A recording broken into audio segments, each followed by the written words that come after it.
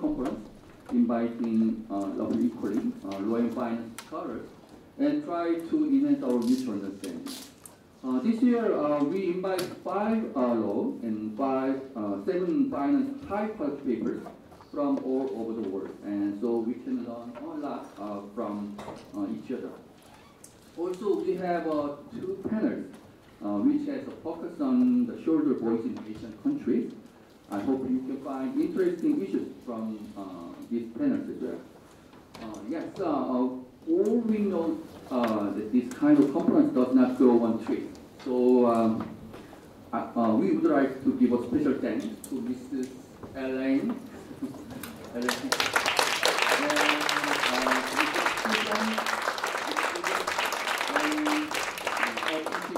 And, and Mrs. Lee, maybe she's outside. Uh, without their uh, tremendous time and effort, this conference uh, would never exist. Uh, finally, I also thank special thanks to uh, Professor Sik Kim, uh, who was one of the uh, uh, was one of the founding fathers of, the, uh, of our uh, GCGC, and with his great effort, SNU can join this conference. Uh, thank you for coming uh, once again. For any of you, uh, uh, maybe it might be the first time in Seoul National University, or even in Seoul. Um, so uh, welcome again, and please enjoy this conference. And so well. Thank you. So, let me, so let's begin my presentation. Professor Goto? Yep. Head Terrace. Okay, uh, so good morning everyone. Uh, I'm Gen Goto um, So actually this is my first uh, GCGC in person since COVID, so it's so nice to be back and to meet old friends and new friends. So uh, it's my great honor to chair this first session.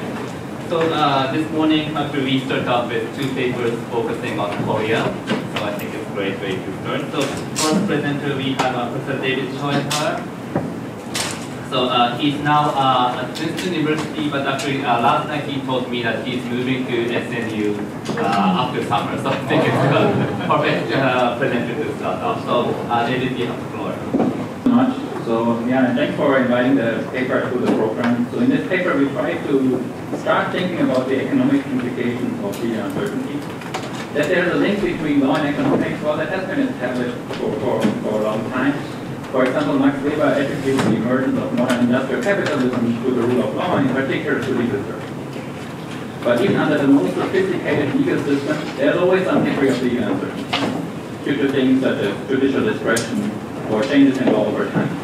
To our surprise, we found that despite this ubiquity of legal uncertainty, there have been very few attempts to link legal uncertainty to economic activity or economic outcomes. What we tried to do with this paper is to a very simple model so to start thinking about how legal uncertainty affects economic activity. The main insights from the model are that, well, legal uncertainty reduces economic activity, and it turns out that there are different types of sources of legal uncertainty, some of which that we classify as more systematic, that are hard to diversify against, and then there are sources of legal uncertainty that are more idiosyncratic, so depending on the market and market participants, it may be possible to diversify against those sources of legal uncertainty, and therefore they may be less detrimental. And, and, I will give you some examples of what we think about as systematic or idiosyncratic sources of legal uncertainty. Then we employed an institutional setting and data here from Korea to test the predictions of the model in the context of credit markets and bankruptcy law. And what we find is that legal uncertainty reduces the size of credit markets and that credit supply is relatively more sensitive to systematic sources of legal uncertainty. The idea here is that, well, credit is supplied by banks, so they are more diversified than firms with respect to bankruptcy. Right? An individual firm will go to the bankruptcy court probably at most once, whereas banks lending to many firms will go to the court several times, and therefore of idiosyncratic source of legal uncertainty are less relevant for. I will not be able to go through you know all the details of the model. I will just give you a very sort of simple kind of idea of the setup, and then we just try to talk about through the economic mechanism. So the model, the setup is super simple. There's a supplier and a producer. The supplier produces an input, and there's a cost of CO producing this input. And then there's a producer who can use this input to generate an output R. So what is generated in the economy is the difference R minus C, so that's what is produced. And the, the price of the input, that's just a way of, the, for the supplier and the producer to share the surplus from production. How we introduce uncertainty here is that with probability 1, there's going to be a legal dispute over an amount D between the producer and the supplier. So they argue over an amount D, they go to the court, and there's uncertainty about this outcome. So there's some parameter lambda which determines the share that is allocated to the producer of the dispute amount D, and this is unknown. So the agents in the model, they can form beliefs about this, and they, and they can learn about it, but they don't know what the sort of distribution or the average of this, of this lambda is going to be. We give both of them mean, mean variance preferences so that they care about uncertainty. So now I will start just to sort of select some equations just to highlight some of the economics here. I will not go through all the equations that we have.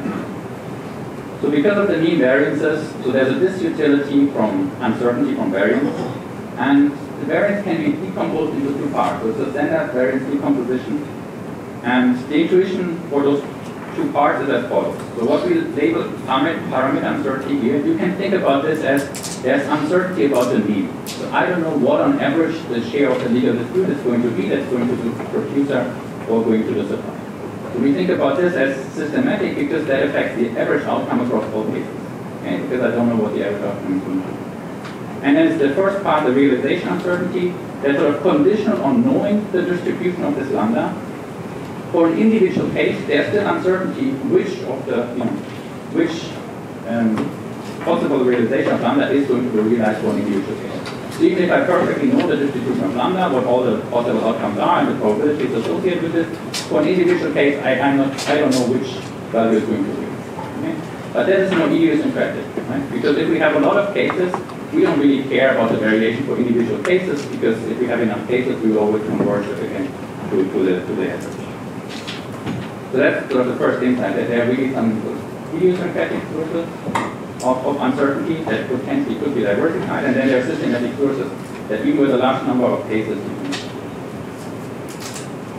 so I keep talking about idiosyncratic and systematic. So just to give you some examples of what we think are the idiosyncratic sources of legal uncertainty and what are systematic sources of legal uncertainty. So for example, there's, there's this literature on judge fixed effects, right, that judges have different preferences, biases, and how they decide cases. Well, if you go to the court, there are several judges, and your case is randomly assigned to one of those judges. Well, if those judges are very different, there's a lot of uncertainty. And depending on who, which judge your case is allocated to, the outcome could be very different. However, if you have a large number of cases, you don't care that, you know, sometimes you get the more friendly judge, sometimes you get the more unfriendly judge. For a large number of cases, you really just care about the mean, right? Because it's the individual case uncertainty that, that washes out with a large number of cases. It could be that even the same judge sometimes has a good day, sometimes has a bad day, right? So there can be all this sort of idiosyncratic shock. Your lawyer might have a bad day, perform, perform badly on an individual case, but again, this is something that with a large number of cases washes out. But then there are systematic sources of legal. For example, changes in law. Uh, if the law changes, well, this will affect all of your cases, and there's nothing really you can do. Even with a large number of cases, it may now affect the mean outcome of, your, of, of, of your legal disputes, and therefore there's nothing you can do to, to. So now I will just not go through the equations anymore, I will just give you the, the intuition. So as I already mentioned, so if you are large, if you have a large number of cases, you still care about systematic legal uncertainty, but no longer about idiosyncratic legal uncertainty. Okay, so there's some part of legal uncertainty that can be diversified. There's another way how we can reduce legal uncertainty, that's by learning about the, the legal. So in the model, this is kind of learning about lambda, so we learn about the distribution of lambda. So over time, as we are in a legal regime, we observe how you know judges, regulators interpret the law. We learn more about what legal disputes look like, what the outcomes are, and that reduces the uncertainty. The flip side of this is well, if we have a shift in the legal regime, for legal regime, for example, the law changes, suddenly we lose all this information. Right now, we have to learn again how our, how our judge is going to interpret this law. You know, how, how is this applied in practice? So if there's a change in regime, that there's an increase in uncertainty because we lose all the information that we that we got that we acquired about the previous. That's sort of the theory part and then the simple insights of the theory, and we try to, as much as possible now, find some empirical support for for those um, predictions of the model. So I will be brief on the institutional setting um, today because we don't have that much time. So in so we will use, we will look at bankruptcy law and then the allocation of, of, of credit between banks and firms. So in Korea, at the, so I should say this is for, the, for our sample period, there have been some institutional changes recently, but in, during our sample period, there were 14 courts that handled bankruptcy cases in Korea. And the really important thing for us is that there's a very clear allocation of firms to specific courts depending on geography. So we have the universal firms in Korea, so most of the firms, they really just operate in, in one area. And depending on where their headquarters or you know, principal place of business is, they have to go to a specific court. So why is this important? We, we are going to generate um, variation in uncertainty across different ports and across time. So it's important that firms are allocated to a specific court because then the legal uncertainty of this specific port is directly the legal uncertainty that the firm is. So there's a map. I you know, do not have time to go, to go through all the details here. So the, the second important thing is in Korea, bankruptcy judges are not specialized like, for example, in the US. So judges in Korea, they are considered to be generalists, so they will report, um, they rotate across different courts and court divisions. So typically when they come to the bankruptcy court, they have no prior experience with bankruptcy cases. Then during our sample period for most bankruptcy judges, the term was two years. And after these two years, then the team of bankruptcy judges is replaced by new bankruptcy judges. And conditional on a case being filed in a court, there's a random assignment of cases one of the judges. So now, how do we generate our measures of, of legal uncertainty? So for our sample period for 10 years, we have data on every bankruptcy case in Korea and really every decision that judges make during, during those bankruptcy cases. And for those decisions that we can clearly um, identify or classify as debtor-friendly or, or creditor-friendly, we generate a measure for every judge where the most, you know, the judge, the, the value of one would be a judge that always makes debtor-friendly decisions, a value of zero would be a judge that always makes creditor-friendly decisions. So you can see here a distribution, so there's quite some variation that some judges are much more debtor-friendly, some judges are much more creditor-friendly. The mean is about 0.6 for 0.6 for, for the average judge. Now, to get this time series variation, so the way that we that we kind of estimate those judge types is that for every when a new judge comes into a court, we set the prior belief about the judge's debtor friendliness at the mean, it's the 0.643, and then we have a Bayesian learning model. So every month we observe on average three to four decisions of the judge, and then the agents in, in the economy, they update their beliefs about the judge's type based on the, on, on the decisions that they observe. So I will show you this with an, with an example here, how this works for a given court. So for most courts, judges have a, term of 24 months in the bankruptcy court. So what you can see here, this is basically this black line is one judge, how our perception about the judge's debtor friendliness changes over time. So at time zero, the judge starts, that's the, the, the mean, that's our prior, so it's 0.643. And for this particular judge, it turns out when we observe the judge's decision, that actually this judge is much more creditor friendly. So we learn over time that this judge actually makes much more creditor friendly decisions than the average judge. There's a second judge in the court who's sort of closer to the average. So over time, we see that if the better um, friendliness of the judge is about 0.6, there's a third judge in the court, and here we can see that this judge actually is, more debtor friendly. Okay, so that's sort of our, and we update this every month. So you can put it here on the x-axis based on the observations that we that we have about the judge's decision. Now we translate this into different measures of legal uncertainty. The first one, yeah, will be pre-fund this is not really about legal uncertainty. This is just to take out the mean effects. So what you see on the, the left plot here, this is just the average. So what you see here, this is just the average of those three judges in, in, the, in the court over time. The second plot on the right side, this is what we label assignment uncertainty. That is the standard deviation of the judge type. So the more different those judges are, the higher the value. So the idea is that, well, if the judges would be all the same, we don't really care about which judge the case is allocated to because you know there's no uncertainty.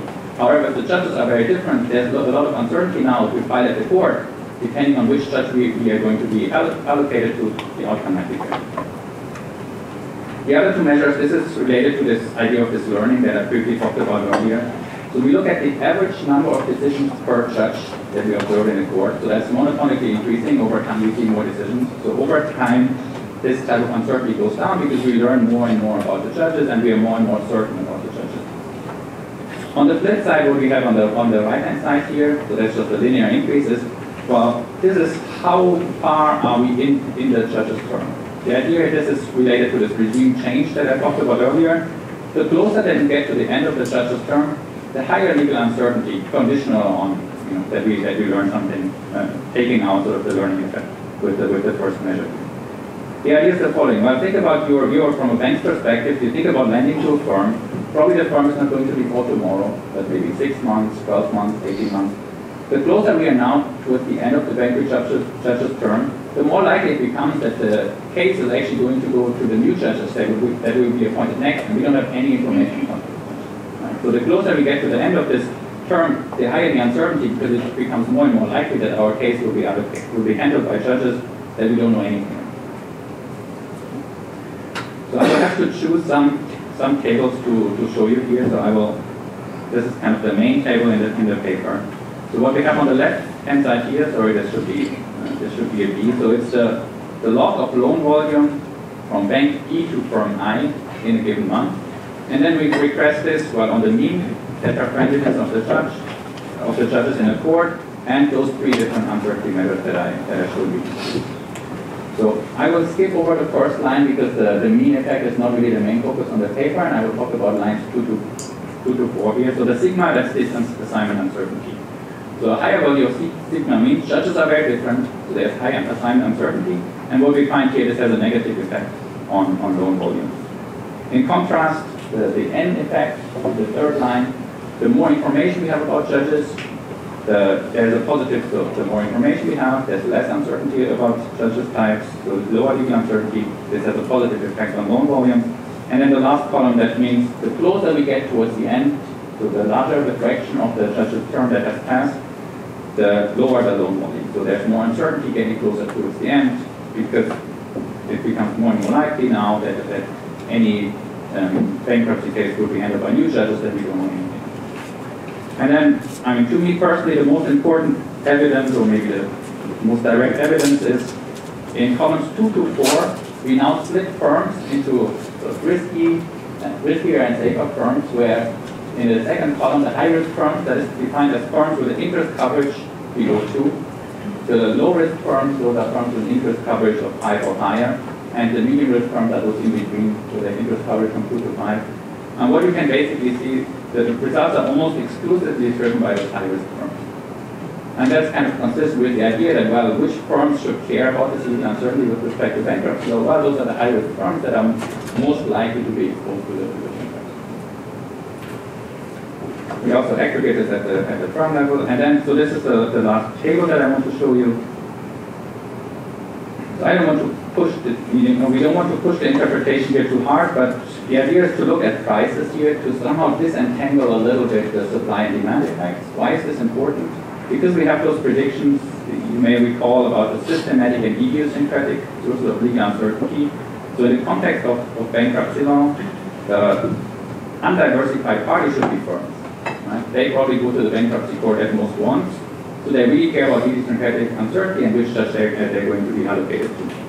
In contrast, banks, they go to the bankruptcy court much more often, so they should be more diversified and care less about idiosyncratic sources of legal uncertainty. So this, so then idiosyncratic sources of legal uncertainty should affect supply less relative to demand. So I will focus on the second column here, which is the, the riskiest forms that are pretty much trusting the results. So the first thing that we see is, well, when the, um, when the, in the court, when the court is more debtor-friendly, interest rates are higher. That makes a lot of sense, so that's kind of comforting because if we have more debtor-friendly courts, this should have a positive effect on the demand for credit, which, which drives up prices, but have a negative effect on the supply of credit, which will also drive up prices. So it's kind of comforting to see that for the mean effect, this is consistent that we see high interest. Now for the sigma, so for the assignment uncertainty, this is, I mean, banks are probably not perfectly diversified, but certainly firms are much less diversified than banks. So this, our, the prediction of the model would be that this is more affected by, by demand for credit and the drop in prices is consistent. Right? If there would be a drop in the supply of credit, we would see that prices are going go. But would we see that prices are actually going down, which is more consistent with the, the, the, the drop in loan volume that we saw in, in, the previous table, is rather driven by, by credit demand rather than supply. For the other two measures, so our N and our how, those are the systematic measures. So for the N, it's a little bit more tricky because here actually a lower value of N is higher uncertainty, right? If you have less information about judges, there's higher uncertainty. So lower value of n leads to higher prices, and if we go closer to the sort of real point of mutual, we also see higher prices, which is more consistent with their stronger supply. And, you know, again, I don't push it too much, it's more possessive evidence, but at least it's consistent with the idea that credit supply, to the more diversified party here, is relatively more sensitive to the systematic tools of peak uncertainty, whereas credit demand is, is more um, relatively more sensitive to the idiosyncratic tools of peak uncertainty. So you may think about a lot of potential compounding factors, and I will not have time to talk about this. That's probably something we can talk about the, the QA and in the QA part uh, at the end. So we try to really think about all the potential compounding factors that we can think about and try to provide some evidence that it's really the legal uncertainty that's, that's driving the south and not something that might be correlated with our legal uncertainty. So the last thing I, I, want to talk about a little bit is, you know, why do we care about this and why is this important? What our results suggest that legal uncertainty has a negative effect on economic activity. So there are many policy implications. So if you think about the judicial system, it random assignment of judges or those frequent rotations like the Korean system, they generate a lot of legal uncertainty that is potentially harmful to economic activity. Um, in the legal system itself, you know, having more judicial discretion, I think in, you know, in, in, in legal philosophy, that's, that's also a big, big trade-off, right? We want to have some certainty, but at the same time, we also want to allow judges to have some dis discretion to take into account specific um, circumstances of an individual case. What our results suggest, the more leeway we give to judges, the more uncertainty there may be, and that may be one of the things to, to, to also take into account when, when thinking about this, this trade-off. Legal precedent is actually sort of an interesting thing. On the one hand, legal precedent may reduce uncertainty because it sort of helps us to predict what's going to be the outcome of other cases. But it also makes it more systematic because now the, the outcome of one case also affects the outcome of other cases, right? It is established precedent. So it's, it's, sort of a double-edged sword. It can reduce legal uncertainty sort of on level-wise, but also make it more systematic, harder to diversify. Maybe the last thing I will highlight here, we also have predictions on, on the boundary of the firm. Right, one thing is, well, being diversified here is good. You can get rid of the idiosyncratic of legal uncertainty. So the larger you are, the more cases you have, the higher your N is, the less you care about idiosyncratic uncertainty. And also if you're, if you're vertically or horizontally integrated, there may be fewer legal disputes in the first place. Right? If everything is internally in the firm rather than dealing with, with outside firms, there may be fewer legal disputes in the, first place. And then there's a role for intermediation. We saw this with banks here, so banks care less about this idiosyncratic uncertainty because they can be more diversified. There are insurance firms now that try to provide insurance for you know, legal risks. Also, the, you know, things like um, lawyer, lawyers or law firms are only pay if they win their case. Right? That's also some form of kind of reducing the legal risk for, for individuals and for law firms to, to, to take on some of this. So that, that was kind of a, a very brief uh, summary of the paper. So the, the main things I want to highlight to take away is that to provide some empirical evidence that legal uncertainty reduces economic activity. And, and what we re only realized when we writing down the model and, and, thinking through this is that there are really different sources of legal uncertainty. And we really have to think about to, to what extent are they systematic and we cannot diversify against, which makes them more severe and um, have, a, have more adverse effect on, on economic activity? Or are there idiosyncratic sources of legal uncertainty where depending on the market and the market participants, it may be possible to diversify against them and then they, they are slightly less detrimental for economic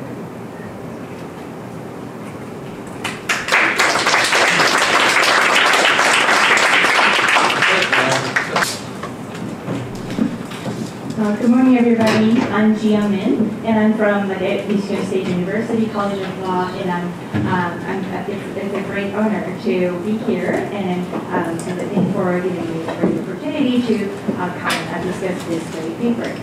So um, this paper, um, um, as Professor Schoenherr um, uh, explained, uh, was presented to you. So this is um, very rich it was impossible to um, like uh, uh, summarize it. So I, I uh, kind of I just give a little bit of focus on the legal side of the paper. So overview. This is very insightful and informative paper in the sense that it asks, each way it asks a very fundamental question, how does legal uncertainty affect economic activity? And also it develops a very novel theoretical model and and introduce new types of idiosyncratic legal uncertainties, uh, specifically uh, um, uncertainty because of the very unique uh, judges' rotation uh, um, every two years in Korea. So, and also it, provides original data about the uh, Korean uh, bankruptcy um, cases. And also, uh, the, authors are already known for a very sophisticated empirical uh, skills. And so, it, um, um, you can see the how detailed, how sophisticated their uh, uh, empirical analysis uh, and uh, are, and they provide a very great findings too, interesting findings too. And also, it's and um, inadequate. Uh, it also contributes to both law, legal literature and the financial literature, and um, also like um, offers like policy implications. So um, there are uh, so uh, there are two types of legal uncertainties developed by the authors, and idiosyncratic and systematic uh, versus systematic. And for uh, so I uh, this paper's uh, contributions uh, contributions are more on the idiosyncratic um, uh, legal uncertainties. And let me introduce, uh, let me explain a little bit more about the first two uh, types of uncertainties that the authors categorize as uh, idiosyncratic ones. So first one is assignment uncertainty. So judges uh, will be assigned to a cases that's very random. So that's an assignment of uncertainty, but that's not unique uh, in Korea. But the second one, the decision uncertainty, is idiosyncratic in the sense that Korea's um, in Korea judges are uh, rotate the courts every two years, so they are new to the new um, uh, court and then uh, court, and that's a kind of uh, that's a relatively uh, that's a unique in Korea.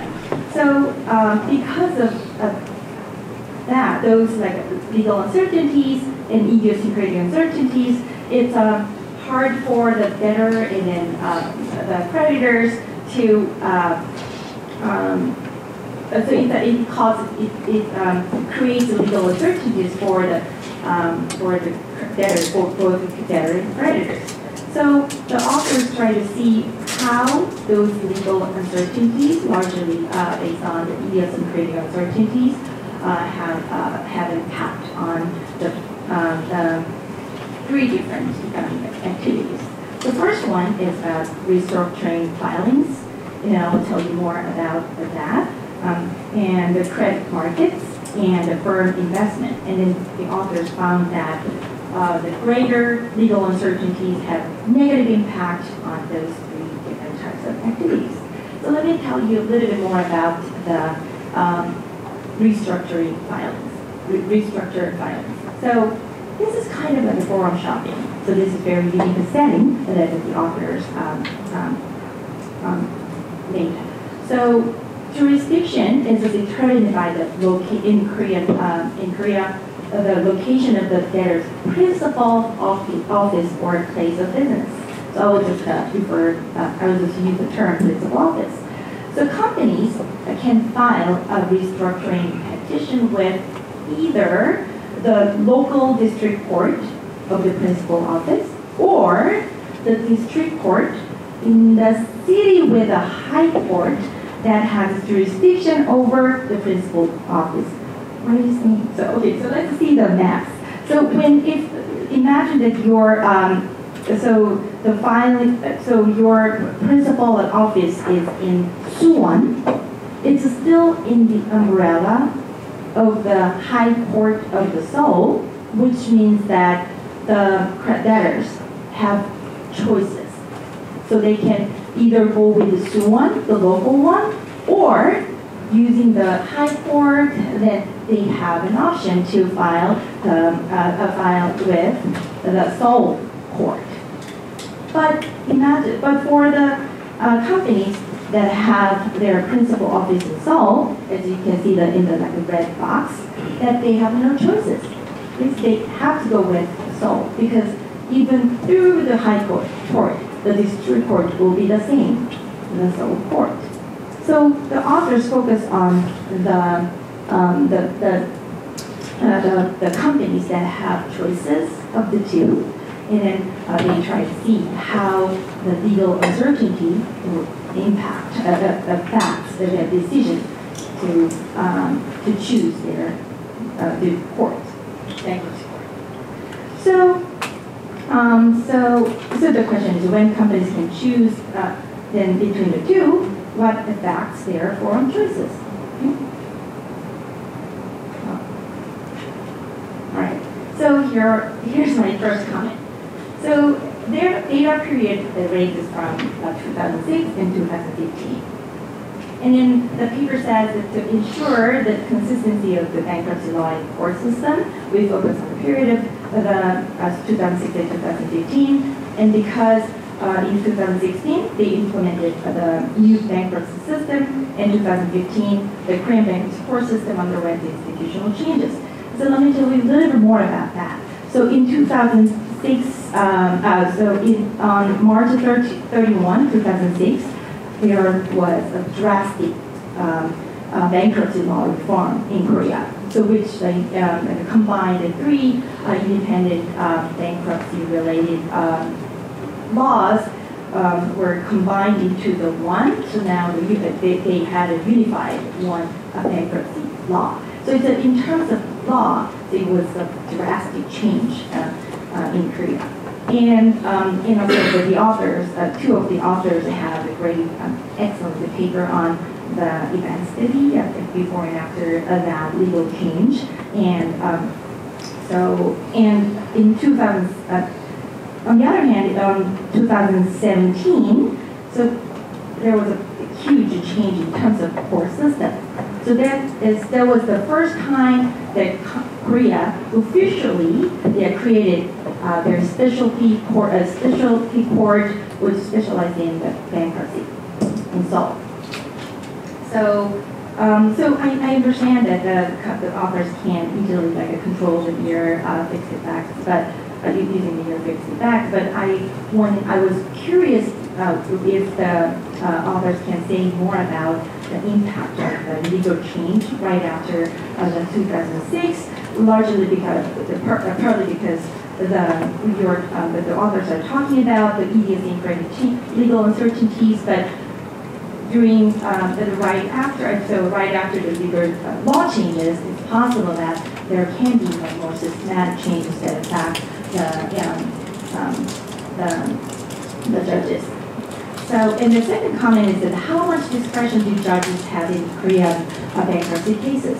So, um, because um, the legal uncertainty is kind of implies that judges' um, preference is uncertain, right? And then that's that's why the creditors uh, or debtors need a time to learn about um, the preference of the judges. So, but how much discretion do they have? So, um, so the, the authors use six different types of decisions, and then depending on the answers, so um, um, that they coded either a debtor-friendly or the creditor-friendly. For instance, if the the judge accepts the case, then it's a debtor-friendly. Yeah. And then the dismissal, if the judge dismisses the case, then it's a creditor-friendly. But uh, my question is that should these decisions be having the, uh, the same amount of discretion? So um, based on, um, so it seems like some of them, uh, for some of those decisions, uh, the judges have more discretion, but um, for the others, uh, the, the judges um, does apply, uh, try to apply that law uh, rather than um, actually make a substantive um, um, evaluation. So is it, so question is, is it possible that, uh, that the difference in decisions are due to the difference in the quality of filings, filings in case the, some of the cases, some of the decisions are based on the mechanical application of the law. So let me give you the examples. The first one is the judge's discretion to accept and dismiss the restructuring in filings. The, the, the paper says the first step in the review process is to determine whether the bankruptcy court, it, where the case was filed, is what has a jurisdiction over the firm. That's the example of kind of like application. So either whether the court, uh, whether it's, um, it's the right jurisdiction or not, it's just a um, mechanical application of the law, so, but rather than the substantive review. But next, the judges assesses whether the firm has a realistic chance of surviving as a going concern and whether it's a contribution, a continuation value exceeds the liquidation value. But um, this is the new, um, this is the provisions uh, there uh, uh, uh, the, from the law, the, the law, and it says the grounds for, it, it says, uh, it gives the grounds for the dismissing of a- application filed before commencing the restructuring, uh, restructure procedures. So it seems like, um, and then based on the, the uh, conversation, uh, consultation with other judges, yeah. So um, it seems like, uh, so judges um, do not have like, plenty of like discretion in deciding whether they have to accept or dismiss the cases. So um, it's, um, I'm not saying that it's a zero, uh, one, zero, um, yes, just yes or no, but um, I, I'm, I'm curious how much like the, the discretion they have. So if you can show what percentage of decision include, uh, the, in the decision, include that we actually did assessment of the continuation value and the value, or, uh, so that would be really helpful to understand uh, that whether they are exercising the um, discretion. And the second example is the judge's discretion to approve or uh, ju- um, reject the debtor's plan. So although the, um, and then the paper says that although the judge may consider the, uh, the creditor's vote, so they uh, approve the plan, restructure plan, or a restructuring plan or not, but it is not binding and it is ultimately up to the judge's discretion whether to approve or reject the plan.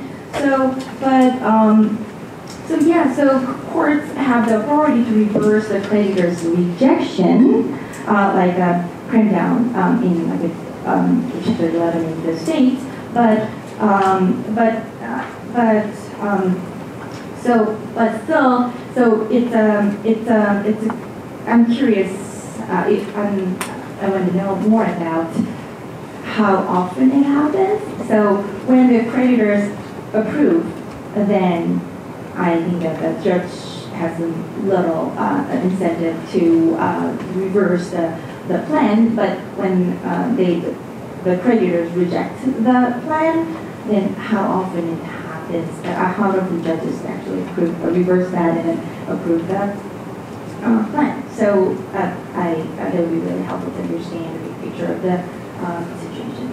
And the comment three is, is about the prior experience with the bankruptcy cases. The paper says in particular judges are assigned to bankruptcy courts without prior experience in handling bankruptcy cases and are replaced by the other uh, judges at the end of their term of two years, which means that every two years, the, everything reset.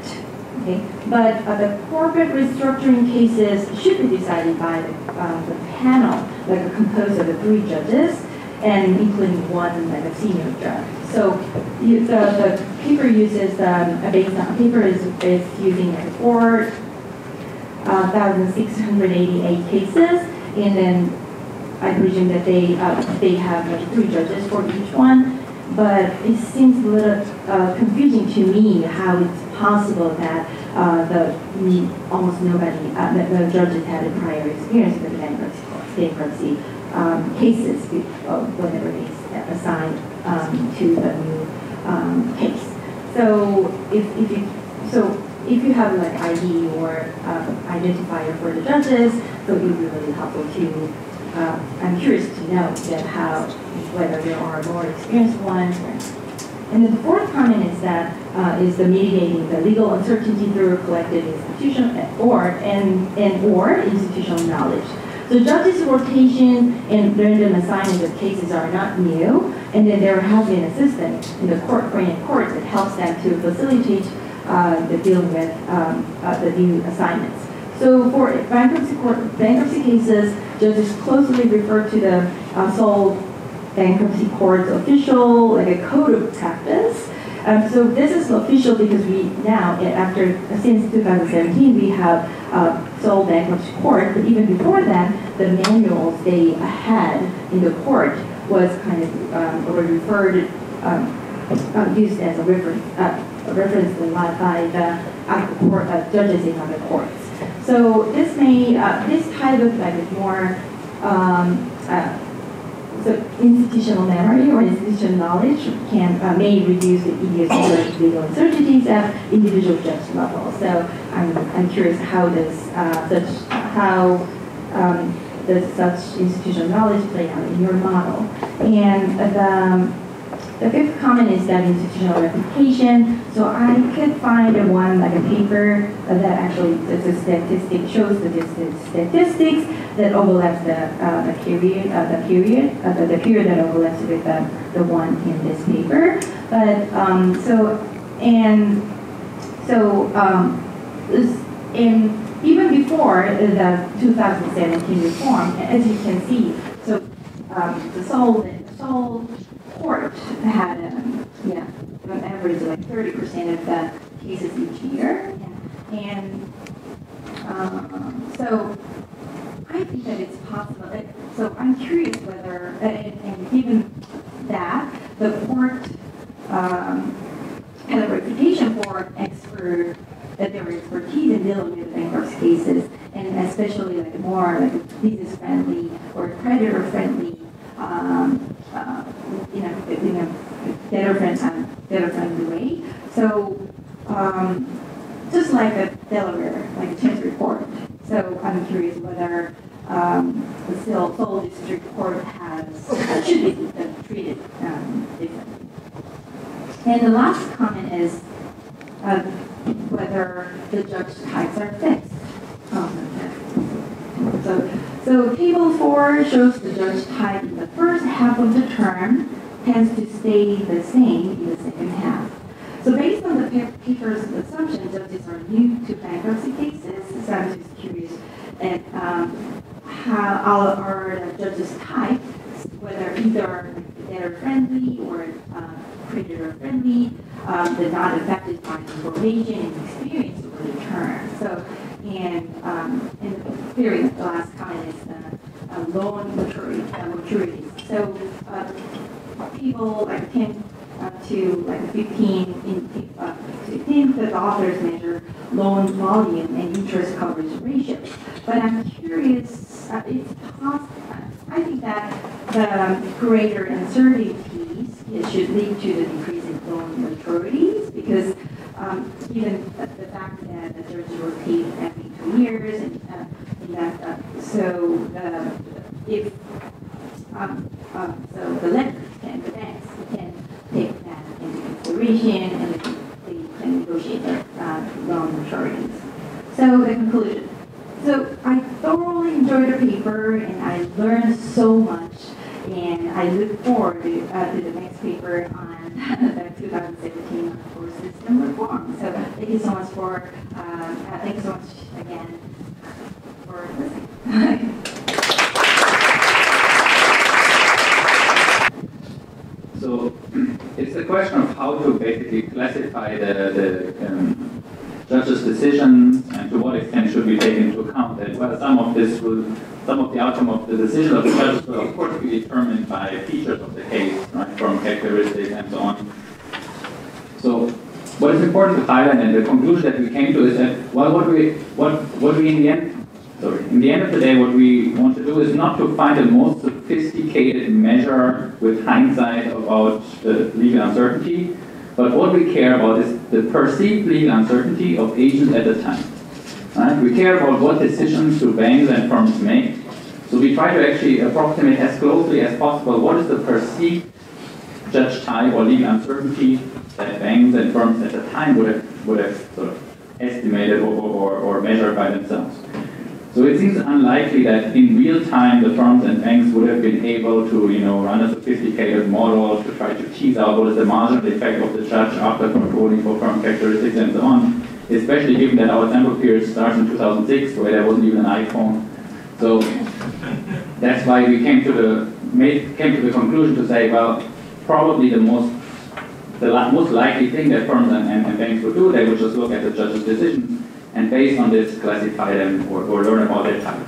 Also, given that cases are randomly assigned, the more cases that those judges are over time, sort of the effect of idiosyncratic um, case characteristics should also wash out, right? So the more cases judges have, again, this, this, this should sort of converge into the, to the real judge's type, and, and the, table that, that, that you put up here, I think that was quite convincing to us that really the, if we just really split the judge's term into two parts, into the first half and second half, you can really very precisely predict the judge's types and decisions in the second half based on the decisions in the first half. So this seems to be something very persistent and not really determined by, by individual um, um, case characteristics. But I think it's a very important point. We thought about this a long time, sort of what is the right way to do this, and we really thought sort of probably this is the closest to sort of the perceived legal uncertainty of the agents at the time, and we have some tests in the, in the paper to try also to, to back to, to provide additional evidence that we cannot find any evidence that firms and banks seem to know more. For example, one test that we do is we just assume that you know the banks and firms maybe they have more information. We just allow them to, to kind of observe all judges' decisions. So the fully informed judge type, we put this into the regression. So if banks and firms have more information, those fully informed types should already have some explanatory power earlier because banks and firms kind of should already know the type of the judges, but we find it has no explanatory power in, uh, on top of sort of this, this monthly updated measure. So for all that we can see and find in the data, it seems that the way that we classify sort of the simple, just you know, classifying every decision as, as debtor friendly or, or data friendly might be close to what people did at, at the time. That's sort of the main reason why, why, why, why we went with this. But I think it's it's a good idea because we talked about this discretion. We show this we show the distribution that there's some variation in judges' types, but we could definitely do this descriptively, decision by decision, to see whether some of them maybe there's no variation because they don't have a lot of discretion, whereas for others there might be more variation.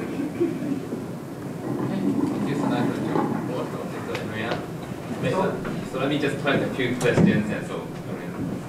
A couple of clarifying questions. One is,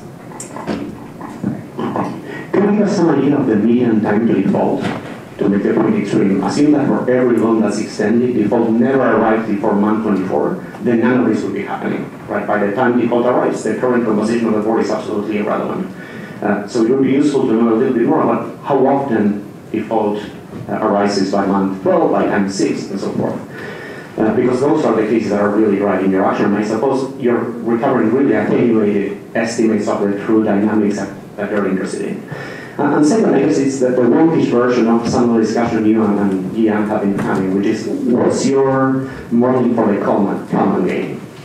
So you start with the assumption that the judge's preferences are the prior, the and then each time you sit and decide, you update. How do you update? What's the weight you assign to that decision? If there was no discretion whatsoever, the Kalman gain should be zero. If there's a lot of dis discretion, well, the Kalman gain should be something, but I, I, would like to know what that something is in the model and whether the results are sensitive to that something. And finally, uh, you covered data from 2006 to 2023. If there was any evidence cases, the publication of decisions became much swifter over time. So now you can quickly look at decided cases for the week after they are decided. Ten years ago, that was not the case. Maybe there's room for you to exploit that by breaking down the sample period.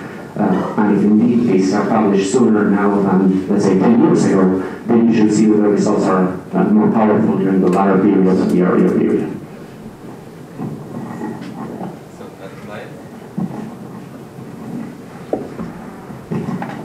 Just, just a quick question on the coding of uh, outcomes. Um, what makes you confident that approving a plan is always really a, a debtor-friendly decision? Because first of all, who's the debtor here? There's probably equity holders, and if you have a plan that essentially wipes out equity holders and gives all the upside of the surviving venture to creditors, uh, it gets approved, but is that really a debtor-friendly decision? And I would love to talk more about that uh, during coffee break, because I think that's really what's critical here. Uh, and you can probably make cases for all the coding that you do.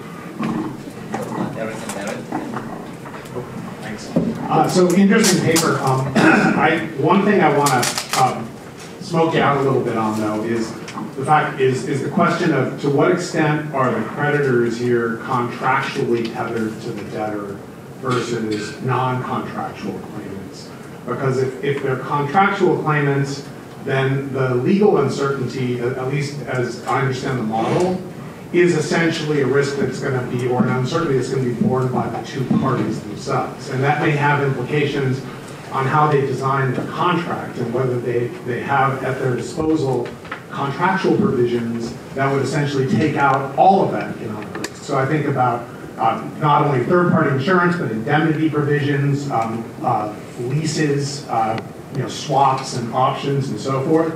And, uh, and, it, and it kind of makes me wonder, to the extent that, that the contracting practice itself is relatively healthy, why does it take all of this out, at least in terms of the model, right? Why wouldn't you and I just sort of say, okay, look, this is the type of judicial you know, scenario we're going to encounter. Let's figure out how you know Eric and David can just you know enter into some sort of uh, some sort of a set of cash flow obligations that are essentially contingent on the realization of that uncertainty? Is it, is it lack of foresight? Is it lack of faith that a, a court's going to even enforce that? I, um, I, would be interested in your thoughts about it. And, and, and in fact, I'll, I'll just try to turn that into a silver lining as well. That might give you some other, um, some other uh, uh, dimensions on which to test. You could sort of say, can I typify, typify the firms that have the most contractual liability exposure versus non-contract claimant, like tort type claimant, um, uh, exposure, in which you'd expect the, the effect should be stronger with that second group.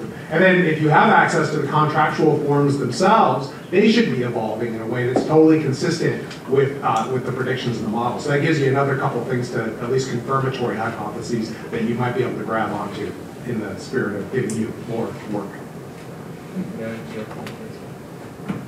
Yeah, um, I was trying to think about the social welfare policy implications of this, you know, thinking about it from a general equilibrium point of view, and you know, of simplifying your model a little bit. Uh, uh, so let's say that banks have no idiosyncratic risk; it's uh, it's it's all systematic uh, risk. So that the that would suggest the total loan value volume would be constant, then for a given firm at a point of time, then I think what your results are suggesting is greater idiosyncratic uncertainty leads to lower um, real investment. That's a factor which is completely irrelevant to um, the underlying uh, expected cash flows from that um, real investment. So it would seem to me that the policy implication here is that it's more important to have the, the level of idiosyncratic uncertainty be even among firms rather than that it be low because it's going to have sort of the same uh, the same the same influence. Um, we're, we're, talking about distributing uh, a total amount among a group of firms and here's a factor that affects things that is irrelevant to the expected cash flows. So, uh, okay, so over there, many. Thanks. Uh, wondering if you've thought at all about settlement. Uh, and one way you could test that a bit. So the idea being that a lot of the effects, uh, and there's a long literature that I could point you to will, will happen in a way that you don't see. Just uh, like we know what the court looks like, and so we settle uh, around the, uh, the court. And uh, one way you can look at this is just like looking at the number of cases. Uh, and you might imagine if people hate uncertainty, for example, then they may always settle. Uh, and you would see a change in the number of bankruptcy filings or something along those lines. But that's another dimension on which uh, on which things might change. I wonder why you're clustering at the firm level and not at the district level. Seems to me that the treatment is applied at the district level, so it should be less there. Okay, so liner and Marco. So David, when I'm in a debtor-friendly system from the bank's perspective, shouldn't I be very glad about the uncertainty and be willing to learn more because it can only become better for me?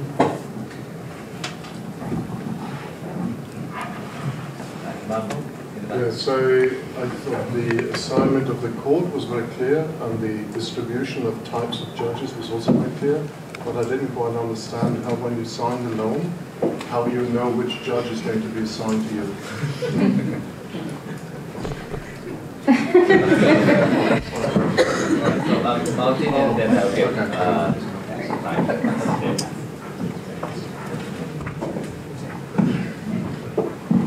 much more basic question. I just wondered if you could pronounce for slow people like me uh, what the uh, remaining identifying variation is after the fixed effects. So like fixed effects and fixed effects and district time fixed effects. I I got a little dizzy in my head trying to think about.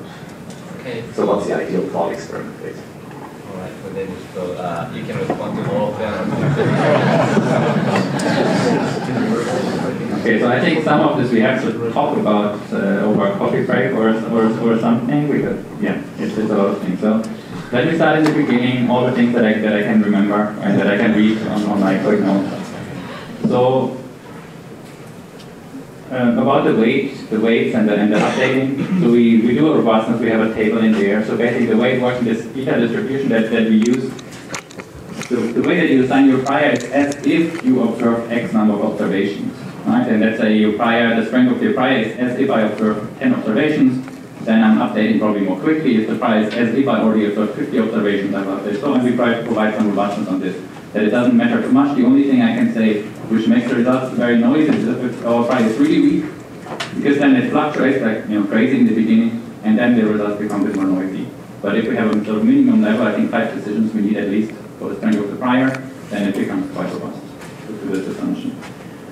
Mm. Yeah, this idea with the with the whether the effect is getting stronger over time, if over time the, the agents would be able to observe this better, more quickly, I think that's, that's good idea. We could certainly look at this. And probably think it's a reasonable assumption that it should get easier over time, so we can just see whether the, the results get stronger in the second half of the sample compared to the first, for example. Um,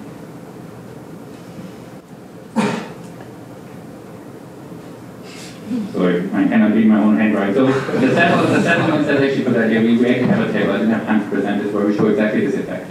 That when there's more uncertainty, actually there are less fewer parties in this court, particularly those firms that can choose between two courts, then they always go to the court where there's less uncertainty. So we see that when they can choose, there's more uncertainty, but even the level even firms who cannot choose, there are less, there are fewer findings. So it is consistent with the idea they don't want to go to the court when, when the uncertainty is higher. Um, the, yeah, I, I, agree with the, the, clustering. I mean, we have only 40, 40 districts, so we need a more sophisticated econometric uh, uh, way of, of, doing the clustering with those few clusters. But yeah, we can also do some robustness on this. I'm not sure whether more uncertainty is better when we are in, in a level, sort of a lower level of, of debtor friendliness or, or data friendliness from, from a bank perspective. I mean, things still can get worse. It probably it depends a little bit on what is kind of the level where, where really banks or firms or, or shareholders would be washed out, and then, yeah, at some point there will be some sort of flipping where then uncertainty becomes a good thing. We haven't thought about this, but maybe we can think about it. Can think about this more. What is the, the remaining variation? So the remaining variation is that you can think about there are two firms that are both in the same court zone, which was like the picture that, that we saw in the discussion, like you were in or in, in Seoul. And then the, the, the, the Seoul court might have a high legal uncertainty, the Suwon court might have a low legal uncertainty at a given point in time, and then we compare whether those whether the credit um, provision to firms in Suwon compared to Seoul, how this is, is different depending on the legal uncertainty across different courts. Yeah, so when, when you when you make a decision right to provide credit to a firm, you only know which court is going to be charged, but you don't know of the judge, which is exactly this legal uncertainty, right? First of all, if there are multiple judges in the court, I don't know which judge is going to be assigned to, and that was also the question earlier. Well, depending on when the default is going to occur, it may even be that it's a new new team of judges that, that will handle the case. So that's those are some of the sources of legal uncertainty that we don't know those things. So there's a good point. There are actually tables from things like you know Moody's and so on, right, that always provide some default um, probability of different providers for different ratings. What we haven't looked at, and I think that's, that's something very valuable to do, also to sort of scale the effect and understand right, how much is the actual legal exposure, sort of legal uncertainty that they're exposed to, and to look at sort of maybe from the time of allocating the loan, what is then the average time, of default. So maybe the, yeah, so that's, maybe the last thing I will talk about, and then we have to talk about the, later, the, the, the coffee break, is sort of the, is it important the level of legal uncertainty or, or how different the legal uncertainty is across different firms? I think it depends a little bit on how we think about right the sort of credit markets. If there's a fixed pot then it's true that if there are different levels of uncertainty that leads to this distortion to the allocation. If we really think about, you know, there's no funding constraints and really the level just determines how much credit is going to be allocated, how much production there's going to be, then the level is also important. So it depends a little bit on yeah, how, how flexible we think that the, the, the credit supply is, so how much is really just about allocation. And then the last comment about the contractual, um, how much is contractual and how contracts would respond to this, we can talk a little bit about this. That definitely our model is not an optimal contracting model, you're right. In, in our model, we could undo everything with sort of side contracts and, and. That's definitely. So it's not an optimal contracting model. In that sense, and to what extent we can link this to the data, this idea is something to, to think about because, as you said, that provides additional variation to sustain the, the empirical evidence. Um, which, how do we classify this into debtor-friendly, creditor-friendly? So I agree that you could probably make up cases where for many of, those decisions you know, maybe there can be some exceptional cases where it goes the other way, but I think on average it should be sensible the way that we classify this. For the specific comment about the plan, those are this is similar to Chapter 11 in the US. Those are really plans suggested by the management. So then, if the judge goes with the plan of the management, it tends to be more debtor friendly. I agree with you that there can be exceptional cases where this may not be the case, I think on average it's probably.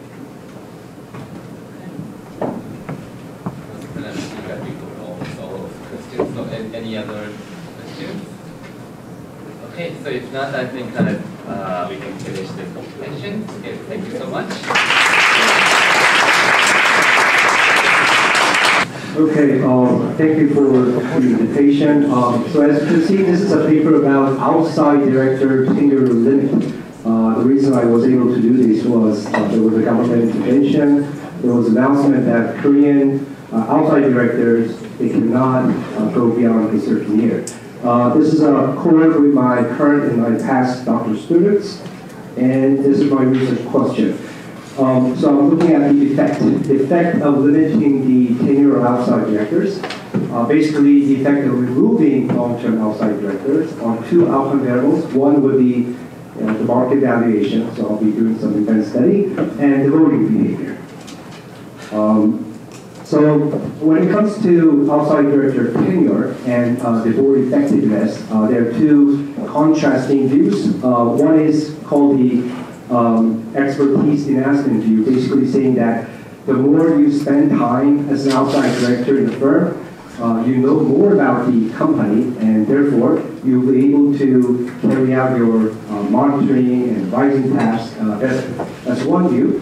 the opposite view is if you stay too long, well, you're going to be, you know, indifferent to the shareholders, but uh, you'll be more aligned with the management, so uh, the board effectiveness will actually fall. Okay, so those are the two contrasting views, and uh, I'm trying to test which one uh, dominates the other. I'm not saying that one will exist and the other one will not exist. I'm just going to try to see which one dominates and which one will be more uh, dominant in certain circumstances. Um, so let me just give you the summary of the key results. So what I do find is that the entrenchment uh, effect is uh, greater, it's more dominant than the expertise uh, enhancement view.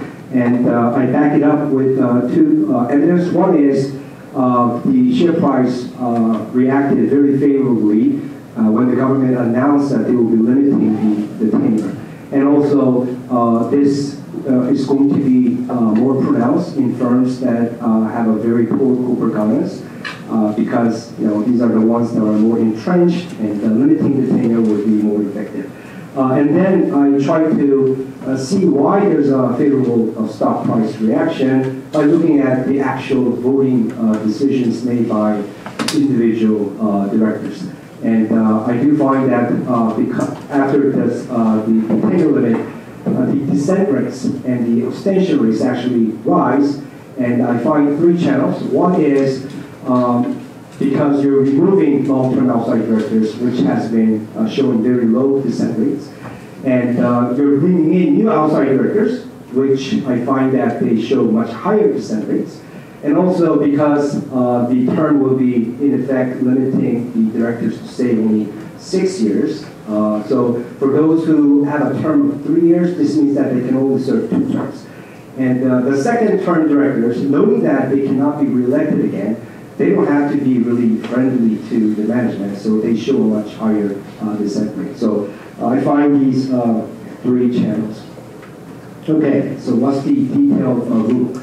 Um, the rule says you cannot be reelected as an outside director if you have uh, served the company for uh, already six years. Or because many of the current firms are affiliated to business group, you cannot be reelected again if you have served in the same business group for nine years. So we have a six-year rule and a nine-year rule. Uh, so uh, what I'm going to do is I'm going to define LTOD, long-term outside directors. These are the ones who have spent six years in a given firm or nine years in a given uh, business group. Um, so in fact, for three-year term outside directors, they can serve only two terms. Um, what's important about the Korean rule is that you cannot regain eligibility uh, after a cooling off period. I know that in India and Israel, if you uh, are outside, if you step down from the board and then you spend like a certain year, you can come back to the same company. Uh, so the Korean rule is more strict, uh, I would say. And then some other minor uh, rules, like uh, if uh, like concurrent positions, you can take concurrent position in the same business group, that will not be double counted. And also, uh, if the company went through a merger or split, the, the time you spent as an outside director before the split or merger will be counted in uh, when calculating six years in. Okay, so because I'll be doing uh, event study, uh, dates are important. So, uh, so it happened in uh, September 5th, 2019. Uh, the government announced that they will be imposing a limit. This was unexpected. Uh, I've been following Korean corporate governance for the past 20 years. Uh, I, I did not predict this to come. So this is a good event uh, to conduct the uh, study. And then um, there was an initial amendment released uh, on September 24th, but uh, there was a comment prominent press saying that the effective date, effective date will not be uh, the, the, the, following year, 2020, but it could be postponed to 2020. So, so there was some uncertainty regarding the, the effective date, but um, on January 14, 2020, the government uh, finally fixed this. Uh, they announced that the effective date will be uh, the following year's AGM. Um, so any uh, long-term outside directors, by that time, the following year's AGM, they would have to step down.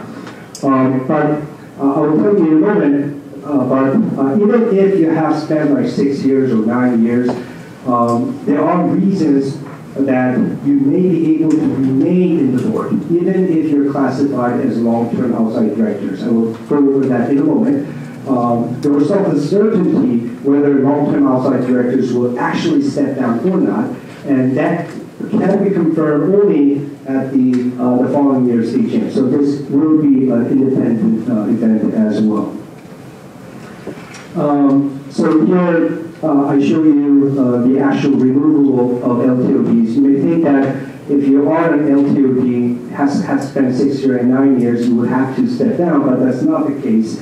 Uh, here you can see that um, at the time there were 300, like 600, uh, 3,669 uh, outside directors, and uh, 800 of them were LTODs, but the only ones that stepped down were 386, um, even less than half. So what's going on here?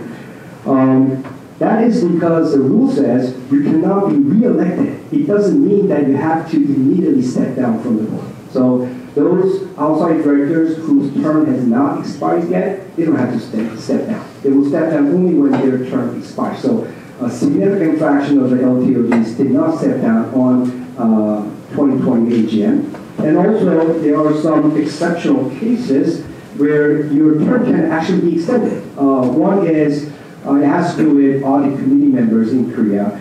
If the company fails to elect the successor, uh, there's a commercial code provision saying that the predecessor can still stay along with the company until the successor has been appointed. So uh, when it comes to audit committee members, there was uncertainty at the time when the rule was introduced whether they would actually step down or linger longer uh, in the company. And then uh, there were some uh, interesting companies which amended the corporate charter so that uh, their directors had three-year terms they changed the corporate charter so that they have a three-year term, so that they can stay for one more year. So there were some uh, of those. And then some companies just got mixed up. They, didn't fully understand the rules, so they just it wrong.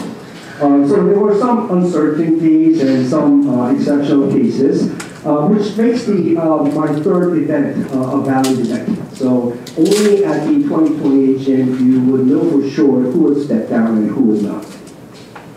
Okay, um, so I have two sets of hypotheses. One has to do with the market valuation. The other one has to do with voting. Okay?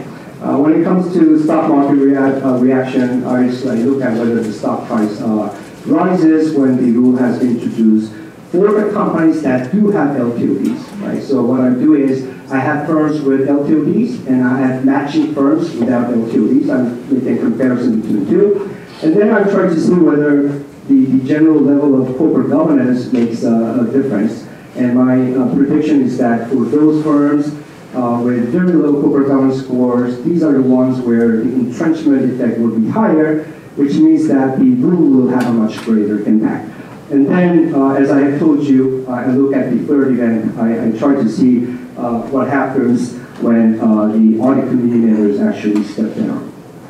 Uh, when it comes to voting decisions, um, I do three things. One is I compare the voting decisions, in particular the dissent rates and the abstention rates of those LTODs, and the other uh, outside directors. So these are uh, the directors who spend less time in the company. I compare their uh, voting behavior and try to see whether LTODs has been dissented less.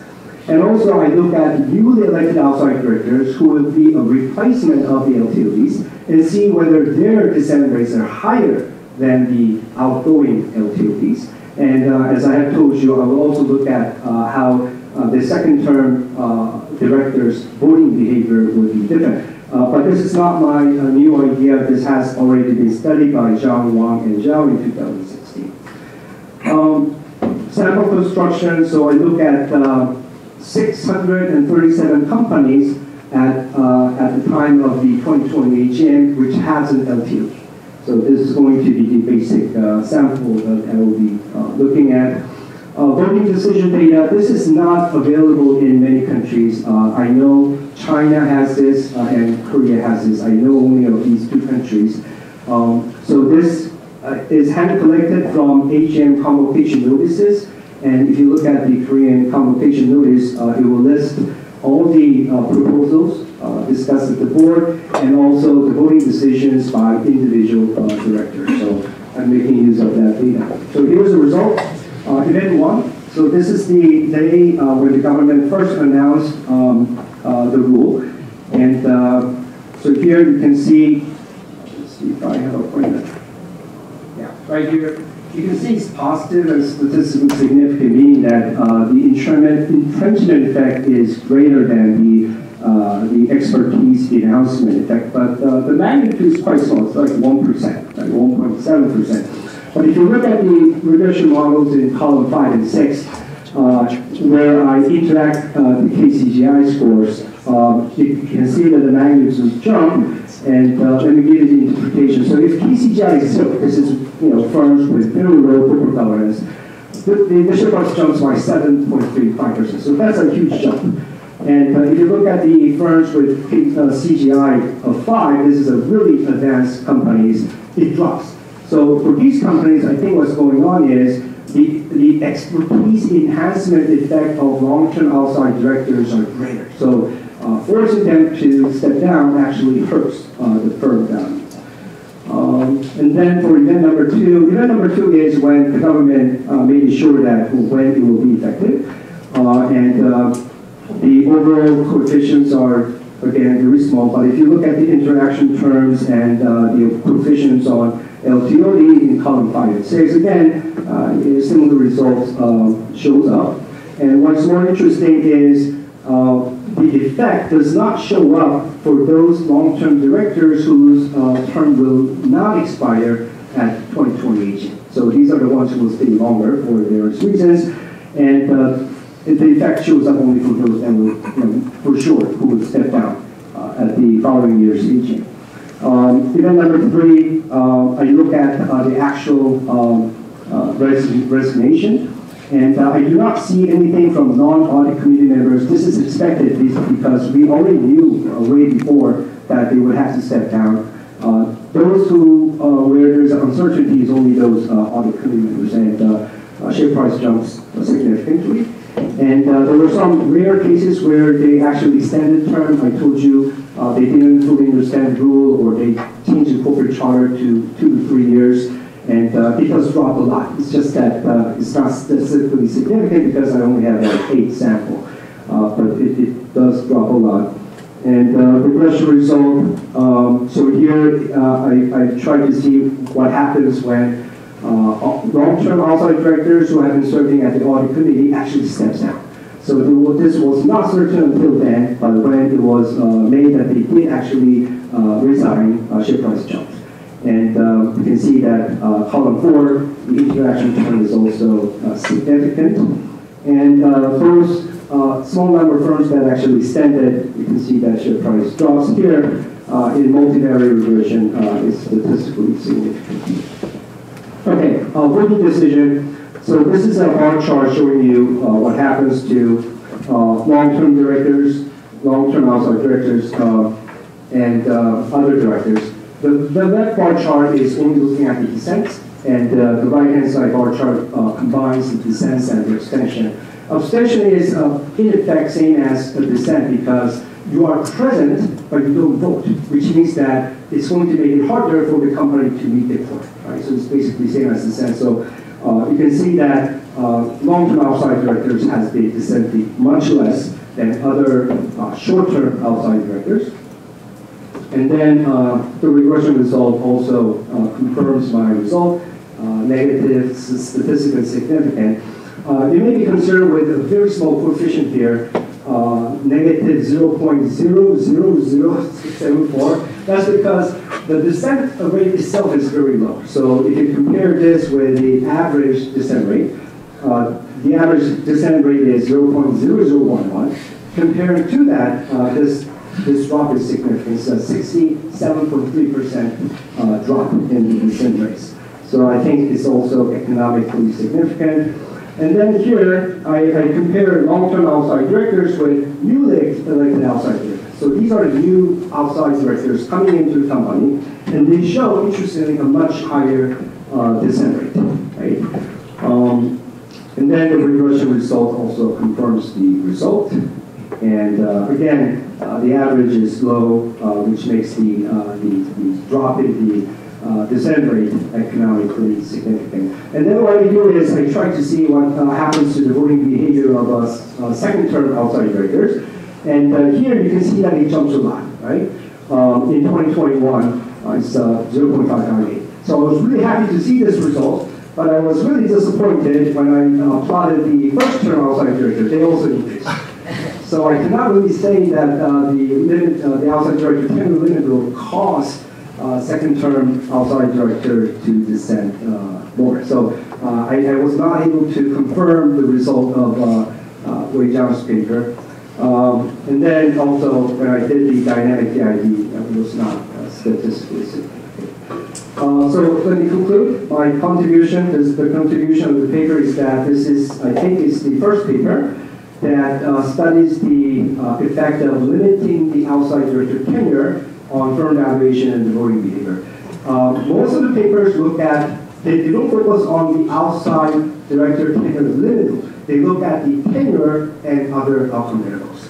Uh, the only paper I know that has studied the tenure limit rule, rule is the, the Jones paper, uh, but they didn't look at like firm valuation or voting behavior of uh, other directors. They only look at second term outside directors compared to first term outside directors.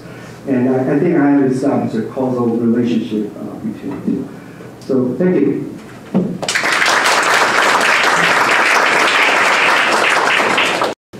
Okay, thanks very much. Um, I think this is a fascinating project. I learned a lot about Korean corporate governance and about influence of, oh, I need the, the microphone. Okay. I learned a lot about Korean corporate governance and also about director tenure.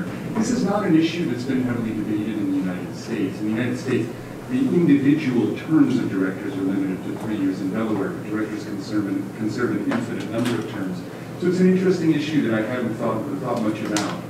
Um, the main contribution of the paper, of course, is to use this plausibly exogenous change to the law of director tenure and to examine whether limiting directors' tenures is, is ultimately good or bad for stockholders. There's two methods, an event study and also a comparison of dissent rates. I'll talk about each of them. Um, I think that the implications of this paper are pretty interesting. They're probably more interesting for economies like Korea's, in which corporate control tends to be highly concentrated, and maybe a little less interesting for economies like the United States or the United Kingdom, in which corporate control is more diffuse. In the United States, of course, we have independent directors as well, but we tend to judge independence relative to management.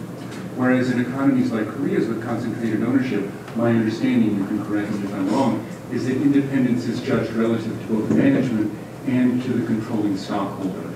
And arguably the influence and importance of outside directors is greater when a company is dominated by a controlling stockholder than when control is held diffusely. Or at least it's just different and interesting in uh, certain ways. Um, the data on voting especially is very, very interesting.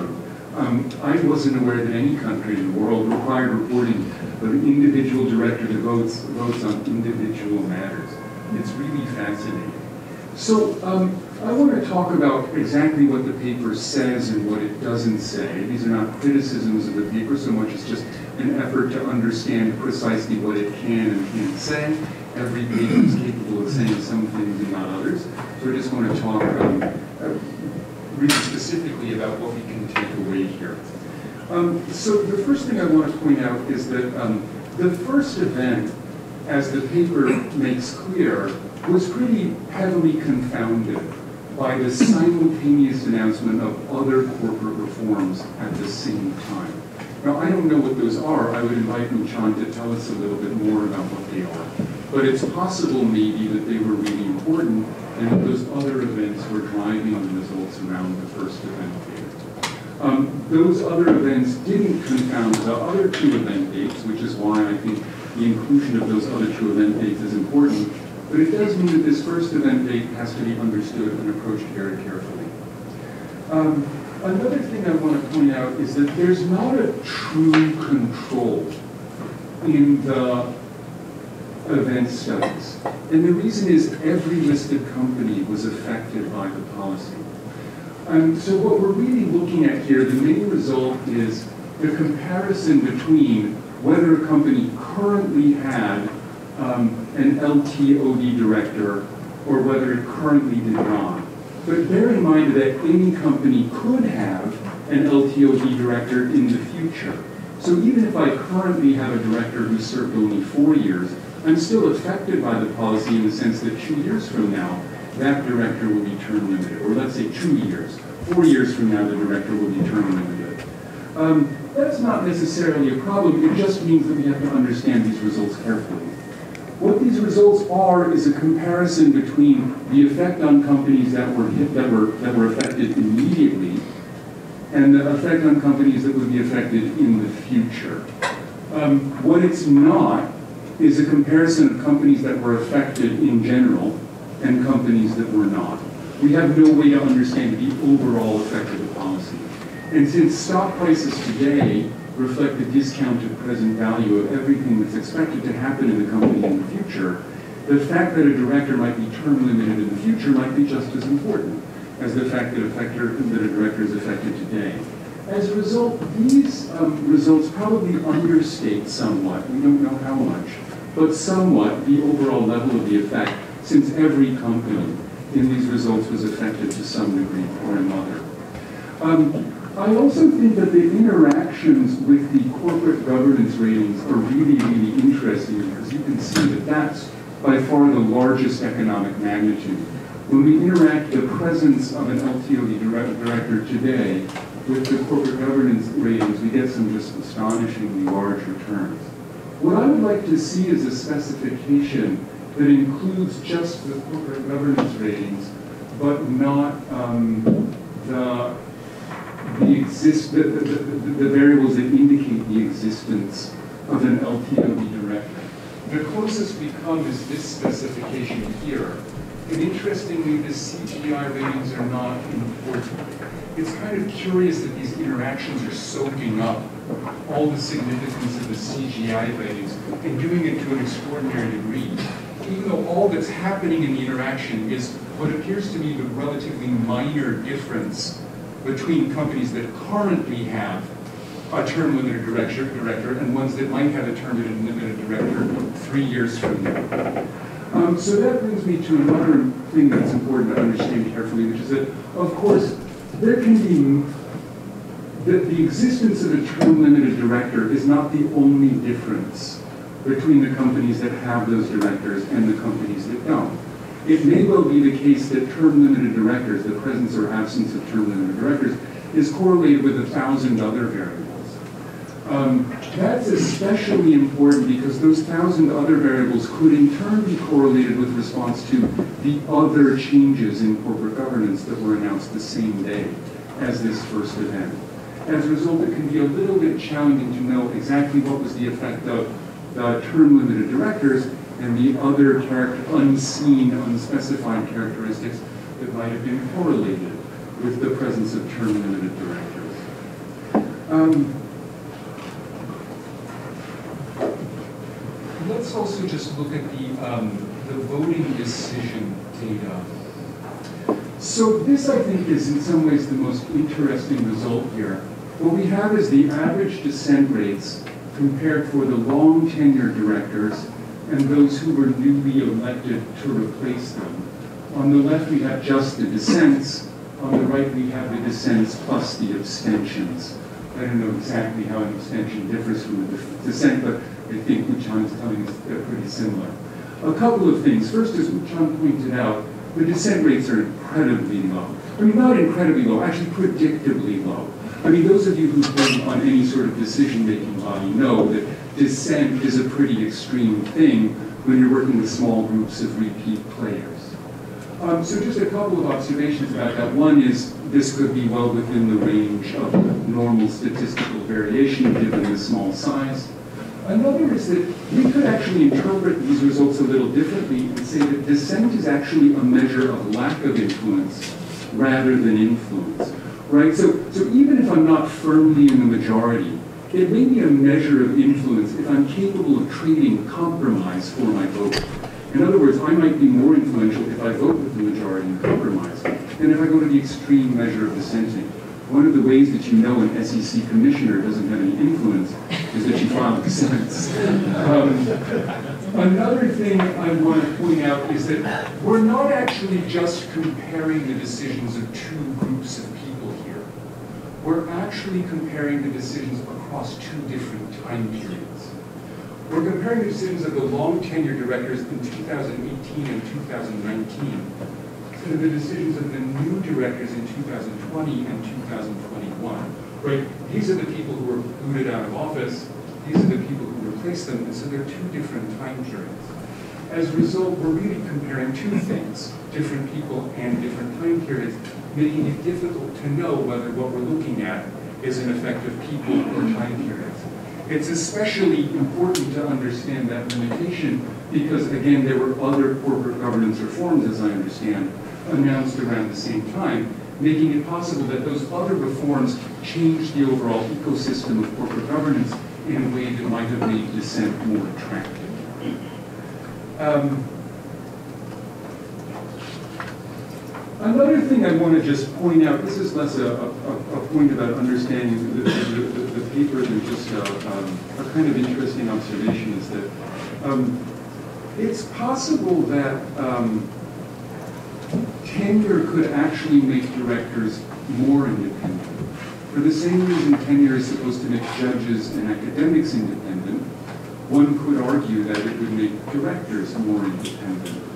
Um, one could imagine, for example, that if controlling stockholders had a high degree of influence over directors' reelection, um, and that, that influence could be more strongly exercised when there wasn't an incumbent director that had a presumption of continuation, that actually shortening terms might diminish the independence of directors. And so one of the things that I like about this paper is that it takes what's clearly an empirical question uh, and tries to give it empirical answers. Uh, it's a nice setup in that respect. Um, I should, I want to observe though that probably the controlling stockholders' influence over re-election is not that great because apparently under Korean law, the nominating committees for new outside directors have to be comprised of two-thirds outside directors. So let me just close by asking a handful of questions that might be worth thinking about, either in future iterations of the paper or just in conversation. So one is, of course, what exactly were those other reforms announced around the same time as this policy? Another is I just would like to know what exactly qualifies a director as being outside. I've assumed that a director has to be independent not merely from management, but also from the controlling stockholder. Is that correct? Um, another question is how are outside directors elected? Do the controlling stockholders get a vote? Because if they do, you know, that of course diminishes the degree of independence. I assume they do. It's just sort of an interesting thing to think about. Um, a couple of bigger questions, um, and then I'll close. I don't think these necessarily should be addressed in the paper, just things about. One is, if this reform was indeed value enhancing, why wasn't it done previously? Presumably the answer is just the kind of usual problem of corporate governance in which a controller gets all of the private benefits of control, but only a portion of the benefits of good governance. And then another question that I don't have an answer to, but which I want to think about for myself is, would this work in the United States or Japan or the United Kingdom or another country with more diffuse corporate governance? I don't know. And one of the things that I most enjoyed about reading this paper was the chance to contemplate how this reform might integrate with other legal uh, systems and economic ecosystems. Thank you.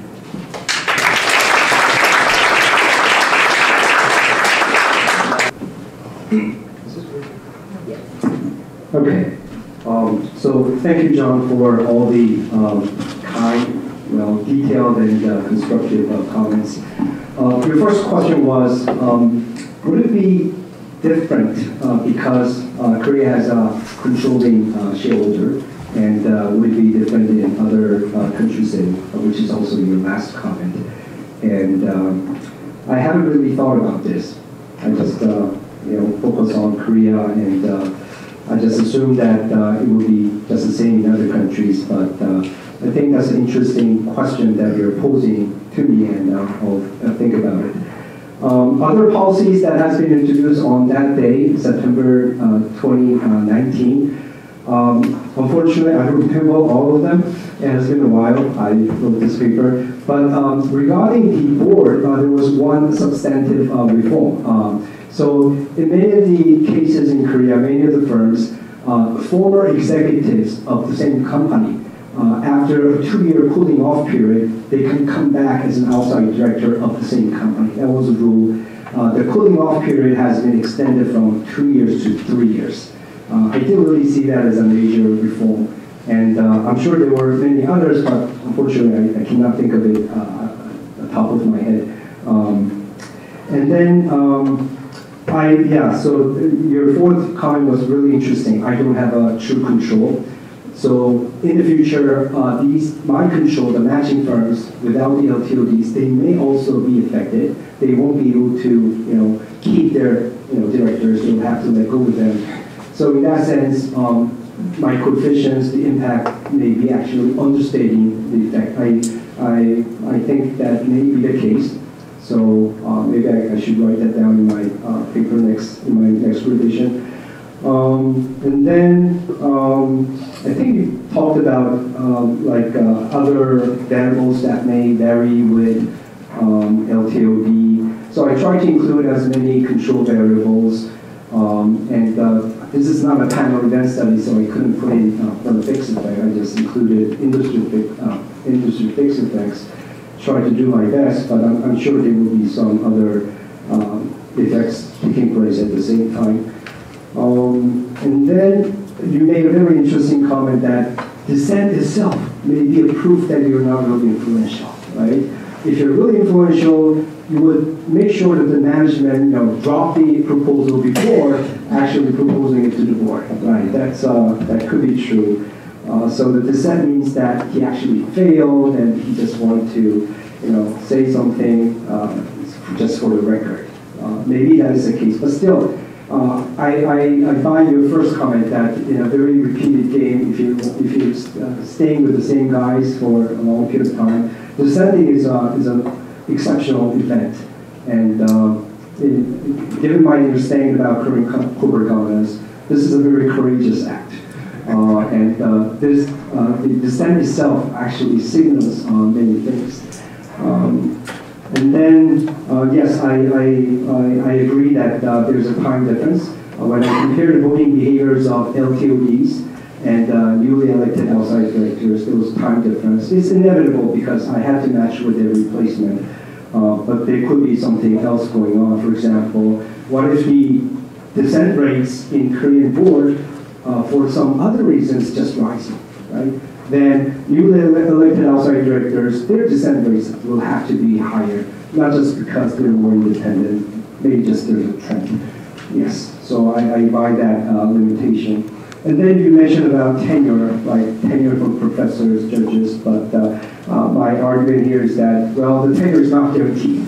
You will only be able to extend your tenure uh, when uh, you're, you're selected by the the, or the management to continue uh, your service.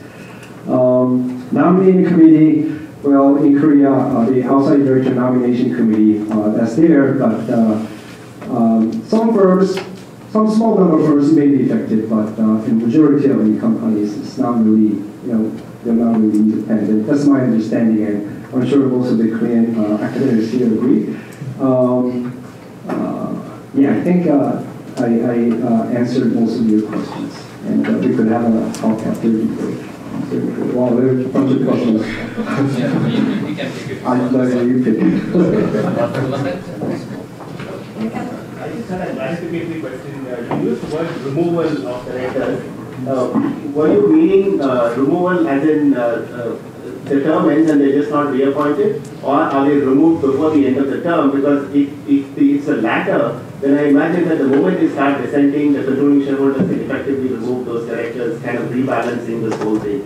So that maybe uh, if you could clarify the expression removal. Oh, when I showed you the table uh, titled as removal, uh, it was uh, those uh, directors who stepped down on uh, the March of 2020 AGM. Um, so, and then I told you that not all of them were removed and that was because the term has not been expired. So removal here means that LT, they are LTODs, and their term has expired by 2028. So that's that constitutes a removal. Yeah, yeah, I, I think the intention of the Korean government was very obvious that uh, they wanted to provide more independence for outside director. And my question is also related to what John mentioned, is that whether disapproval is the right proxy measure for independence because as you as, as John mentioned, um, we have a tendency that if there's a possibility that the board will not approve the agenda, the uh, employees will not raise to the board at all. So maybe uh, the number of agenda which is raised to the board be a, a better uh, proxy for the independence because obviously if the number of agenda decreases, it means that they did monitoring much better and then like the people will raise the board level. So that's what my one point. The second point is that regarding the share price uh, change, I think the new legislation was a strong signal about uh, the change of the government of the uh, minority shareholder protection, investor protection in general.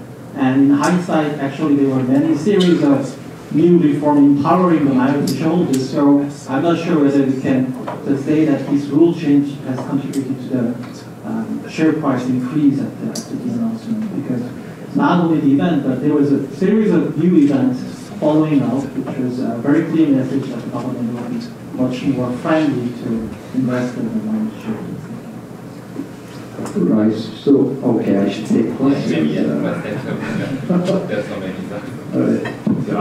uh, so two observations. The first is that the long-term outside areas tend to be more socially tied to the controlling shares. Quite often they will have gone to the same high school or university, whereas in you know, uh, the new coming ones may be different. So that might be perhaps driving the results, or maybe looking at whether the strength of social tie changes before and after this legislation with regards to who left and who came in.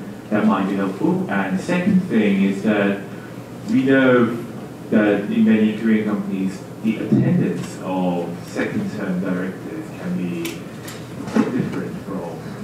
Not, not always, but like attendance has been a bit of an issue, and there's been a push towards driving that up. So that's normally a good measure of monitoring. So I'm trying to see whether there's a noticeable change in the attendance between these um, long-term and newly elected members.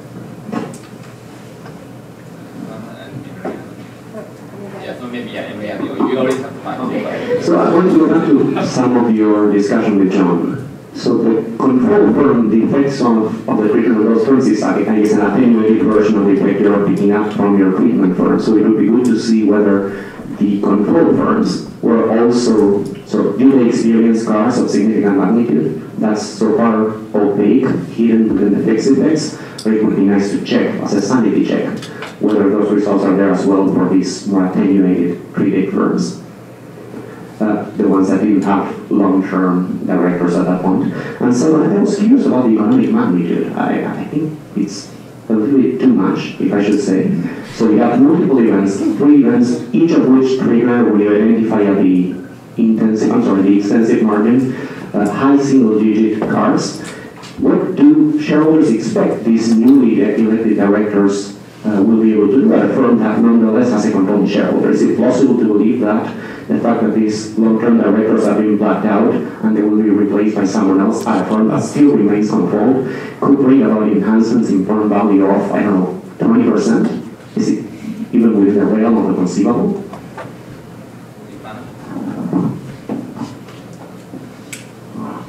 Hi, interesting paper, always. Um, related to the earlier comments, so in the big picture,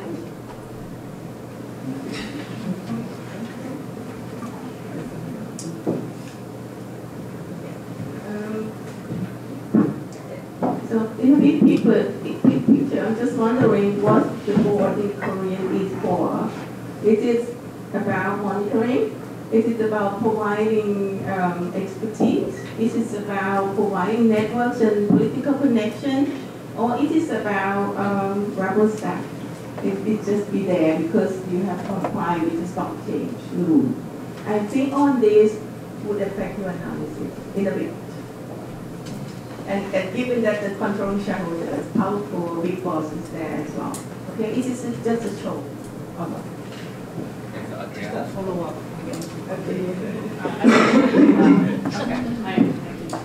Um, so I had a, a similar thought to Giuliano. These are really big changes. So I almost, this should show up in the raw return. So it would be nice to just, like, 8%, holy moly, that's like a whole year's worth of returns in 10 days. Um, so it would be nice to just plot the raw return so that we could all just see it. Wow. And then I, I agree, because it should have happened years ago. Um, and then the other question I had was, when you do this, I love the voting decision, super interesting. Um, one thing you could do to try to deal with the concern John raised about the time period is you showed us that about half of the LTODs got booted that year, and then the other half, because of the staggered board structure, were going to get booted later. Which means that in the first year after, you've got half of them got booted and half of them didn't. So why don't you just compare the half that got booted, and that's like plausibly exogenous, right? The timing of your staggered board structure, whether you're going to get kicked off this year or next year. Why don't you compare that, and then you don't have different time periods to look at? I think that would be a, a cleaner way to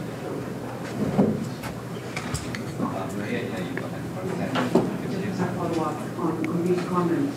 It's really interesting the results of the audit committee and whether this is really about improving monitoring exports or improving the decision-making process.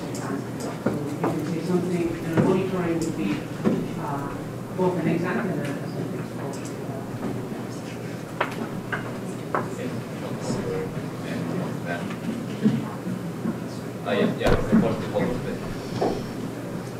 There's an abstract um, statistical version of the comment about the confounding events, which is that these, I mean, the event is the same day for all these firms that are treated or half treated or whatever. So usually it would be good to see a portfolio regression you get the variation not from cross-sectionally, but over time to see how much the portfolios actually move together.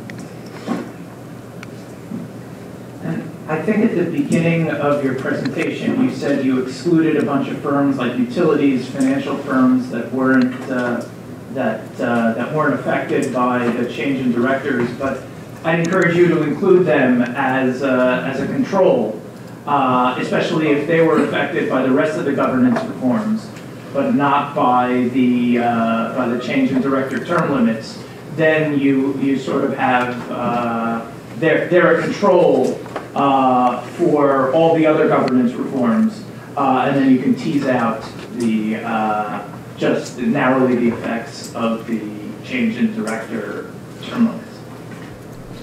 Yeah. Um, just as a, a, two quick points. One point is a bunch of us in this room have looked at this idea of independent directors and in controlling situations in Asia.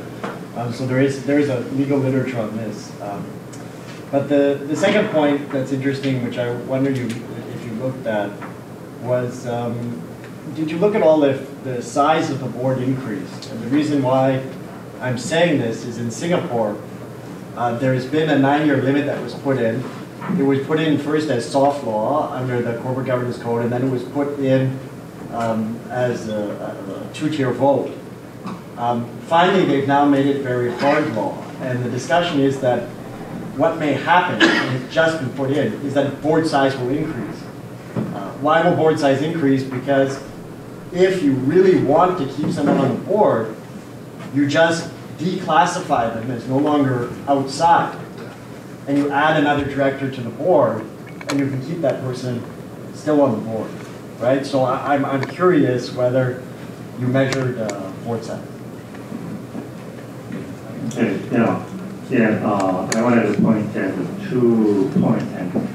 Uh, as John mentioned, I, uh, I, I actually I wrote about the you know, Chinese independent director system in 2016, and I mentioned you know, independent directors sometimes raise objections during informal sessions over or private conversation uh, before the, the formal uh, board meeting. And so uh, that's a known number. However, that's a critical. Uh, so I want to, I, I just call it independent directors and direct and determines effect. Uh, then the second point is that uh, utility and the, the financial companies, I think uh, you should exclude uh, because uh, because uh, they are they are they are the you know the I mean not controlling share, controlling shareholders companies because we we want to know the controlling shareholders independent directors. So in Korea, utilities and financial companies are they, they don't have the controlling shareholders. So I think it's, uh, it, it makes sense I mean, to exclude those uh, kind of corporations. Yeah, ju- just really quickly, um, you know, I- one of the things that you didn't say a lot about, but one might, is the fact that boards are deliberative bodies in which individuals can be thought of as interacting with one another, not as, you know, automatons who are pre-programmed to vote in a particular way, are bringing different perspectives and information in kind of a deliberative persuasion game with one another. And there, are these new outside directors may have a big effect, not only by bringing different votes, but by swaying votes who are, uh, who are internal. Um, and I'm, I'm, I'm wondering if you can, how you might be able to get at that. There's a reasonable literature in like positive political theory on this. It hasn't been kind of brought over to, to governance very much. But the, the data set that has individual vote decisions might be pretty rich if, if you could sort of take another cue from some of the political science literature and maybe, uh, and maybe try to extract um, ideology scores uh, amongst the directors, uh, and then ask if a new when, when new directors go on, does that does that visit a shock and you know kind of the analog of a, a Martin Quinn type of type of score on these directors. I don't know how rich the data set is, but you know I've never encountered this kind of data set at the director level, and it'd be a pretty cool thing to do. Just, just very briefly about the, the data again. I think what thing you can do is to look at the quality of the items that are being quoted. Because I think somebody brought up numbers. You can also look at the quality to the extent that you can actually read the decisions that are being quoted. Right? So, because these are these are actual quoting, and then you can see what is what is what other items that they're, they're quoting on. And this also has an effect on the reputation in the labor market for these directors because it is a term limit, but that doesn't mean that that's the end of your board directorship career, right? You can still continue to be board directors in other firms, in other business groups. So this has an implication on the labor market outcomes as well for these uh, directors.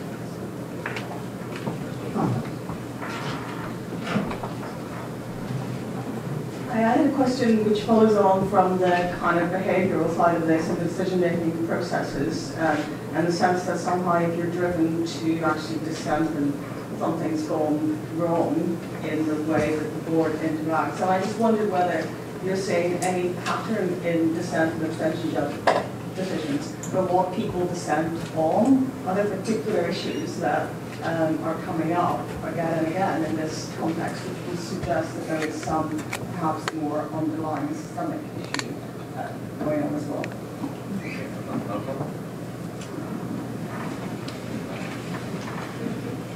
Oh, sorry. okay, so Meredith, go ahead. Okay. Um, these are, I think, just maybe variations on John's comments, but uh, one, it seems to me a lot depends on uh, how much stock you put in your first results, which are the event study results, because otherwise, and reflecting on some of the other comments here, who's to say whether it's an improvement that you get more dissenting votes rather than fewer? And I, the other is, I think in your literature discussion, I really do think you have to be modest about uh, the implications of this for other countries because, you know, to the extent you're looking at a horse race between um, long-term directors being overly subservient to control shareholders or management or whatever versus experience or whatever else comes from good from long, uh, long service. Um, those ratios are, would very likely be very different in, in other countries. So this is related about the dissent. Um, maybe you could look at a different kind of outcome. There must have been a reason why this reform was put in place. Uh, was this to curb related public transactions? Uh, was there another outcome variable that people had in mind? So rather than looking at stock prices, maybe you could look at the target of the reform in terms of actual behaviors of um, corporate action. So you have Okay, well, thank you for all the questions and the interest that you have shown let's.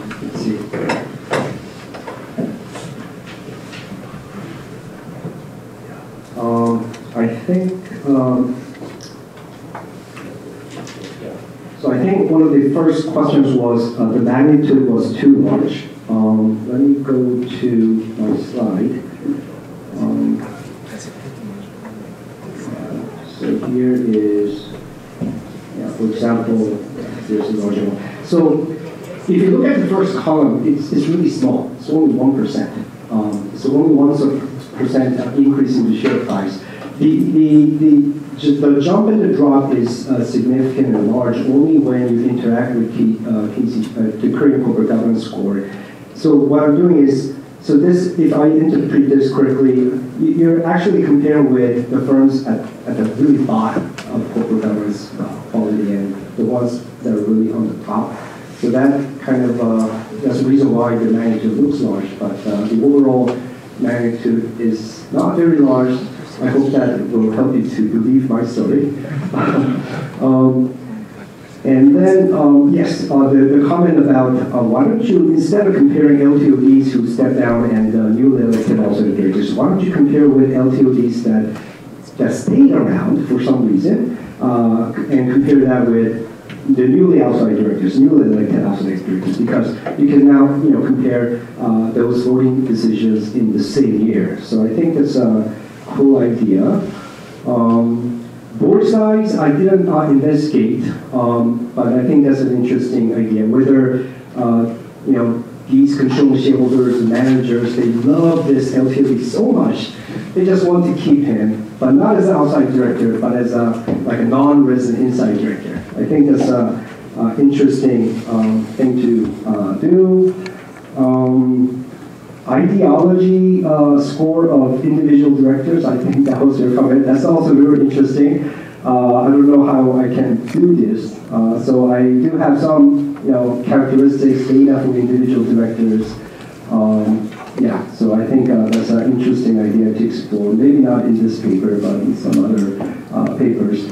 Um, reputation and the outcome in the labor market. Uh, I, I did look at this because uh, the other 2016 paper uh, actually focused on that, but I didn't find any systematic result. Uh, they didn't, they didn't really, their dissent in the second term didn't help them to get an outside director position uh, more likely or uh, less. It didn't really have any impact. Their dissent did not really have an impact on the labor market after they stepped down. Um, being uh, modest to uh, the applicability to other countries, I, I fully agree. Um, I mean, each country is has a very different uh, corporate governance setting, and uh, being effective in Korea does not necessarily mean that it would be the case in other countries.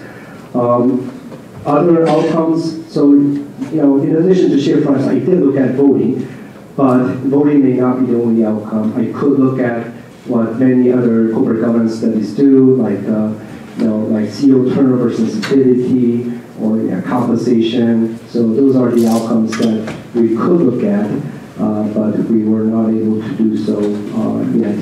Um, and then um, there was a, also a question about, uh, you know, the reform measures taking place gradually again and again during that time period. So even if I have like three event dates, uh, you know, the comment was that may not be sufficient, it may be still confounded. Uh, but uh, so I, but the defense is that I do have three events. The first one is definitely compounded, which is why I have the second and third. And uh, this is an event study, so I'm looking at a very short period of time, and uh, it's um, I didn't check, but uh, I don't think it's compounded with other reform measures, but I should check. Yes. Um, so I, I, I, don't think I answered all the questions, but I will be happy to discuss this during the break. Thank you.